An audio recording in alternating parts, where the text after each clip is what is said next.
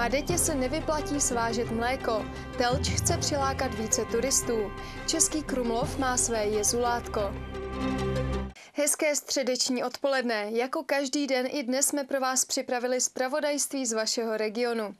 Zhruba 12 tisíc litrů mléka sbírají cisterny každý den od drobných zemědělců na jeho západě Čech pro Budějovickou madetu.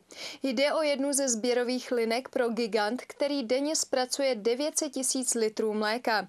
Od 1. dubna cisterny na zmíněné sběrové lince nevědou. Náklady na svoz suroviny a zpracování vzorků jsou tak vysoké, že se to firmě nevyplatí. Zemědělci ve výpovědi pošlou poslední dodávky Madetě na konci března. Výpověď byla podle smlouvy tedy ke konci kvótového roku. Zemědělci si tedy musí najít nového odběratele mléka.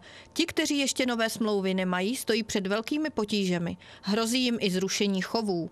Madeta svůj krok hájí nutnou efektivitou podnikání. Drobní dodavatelé jsou po regionu natolik rozeseti, že náklady na svoz mléka a zpracování vzorků byly tak vysoké, že to pro ně začalo být nerentabilní. Zemědělci byli včas informováni a Madeta se jim snažila na pomoci i s hledáním jiného odběratele.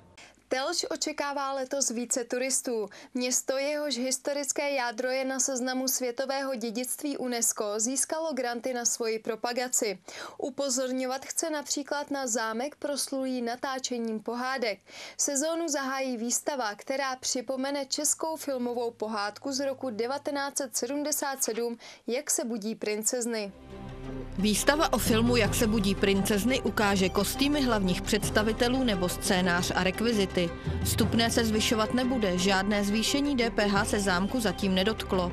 Telč se pokouší zastavit úbytek turistů a také změnit jejich dosavadní praxi. Nejčastěji totiž do historického centra přijedou, vystoupí z autobusu, vyfotografují si centrum a jsou pryč. Radnice proto připravila školení pro podnikatele, aby řádně reagovali na poptávku turistů. V depozitáři zámku v Českém Krumlově byla nalezena soška jezulátka. Jezulátko krumlovské provenience je kopií z 19. století věhlasnějšího originálu, který je uložen v Praze. Více informací vám přinášíme v dnešním Českokrumlovském magazínu po skončení minut regionu. O tom, že se dá dobře bavit i v pozdním věku, se můžete přesvědčit v Třebíčském domově pro seniory na ulici manželů Kyriových. Až do konce března zde probíhá prodejní výstava výrobků jeho klientů, které vyrobili v rukodělných kurzech. Na výběr máte řadu suvenýrů z pedigu, keramiky, ale i perníků. Výstavu můžete navštívit vždy během dopoledne až do 29. března. V Jindřichově Hradci někdo ukradl výzdobu vánočního stromu. Ač jsou vánoční svátky ještě v nedohlednu, zmizelo ze skladu celkem 40 kusů let světelných řetězů. 60 metrů kabelu za minimálně 12 tisíc korun a 40 kusů let vánočních řetězů v hodnotě bezmála 89 tisíc. To je bilance zloděje, který pravděpodobně v pondělí vykradl sklad služeb města Jindřichův Hradec. Nejdříve prokopl dveře a poté objekt prohledal. Odřezal černý elektrický kabel a dále odcizil vánoční výzdobu města. Policisté po pachateli krádeže pátrají. V případě dopadení mu hrozí až pět let vězení. Novou výzdobu zatím služby města kupovat nebudou, počkají, jestli se nepodaří řetězy, kterými zdobili vánoční strom, najít. I když teploměr stále ukazuje teploty hluboko pod nulou, už několik dní zde máme jaro. O to víc se asi každý z nás těší na teplé dny prozářené sluníčkem. A to včetně těch, do kterých byste to vůbec neřekli, třeba do ledních medvědů, tedy Třebíčského otužileckého klubu, o němž jsme vás v našem vysílání už několikrát informovali. Klub ledních medvědů totiž v sobotu 23. března uspořádal akci nazvanou Vítání jara.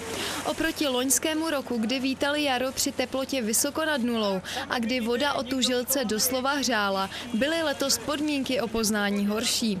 Teploměr ukazoval minus 3 stupně Celzia, voda měla 2 stupně nad nulou a na březích ležel zledovatělý sníh. I přesto se na Třebíčském Svojsíkově nábřeží sešlo šest mužů a jedna žena, kteří kteří přítomným divákům dokázali, že koupat se dá opravdu v každém počasí a v každou roční dobu. Lední medvědi vítáním jara zakončili letošní sezónu. Už nyní se ale můžeme těšit na prosinec, kdy týden před Vánocemi jistě uspořádají tradiční předvánoční plavání, na které se každý rok chodí dívat stovky třebíčanů. Pro televizi R1 jich Martina Brožová. A to je z Minut regionu vše. Dnes se však ještě můžete těšit na magazín z Českého Krumlova, který nyní budeme vysílat každou středu. Příjemný zbytek dne.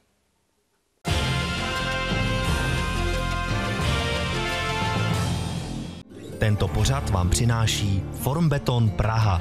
Soulad vašich představ s přírodou.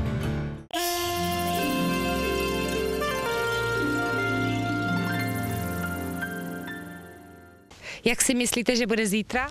Polojasno. Kolik si myslíte, že bude stupňů? Minus jedna. Jak silný bude foukat vítr? 15 metrů za vteřinu.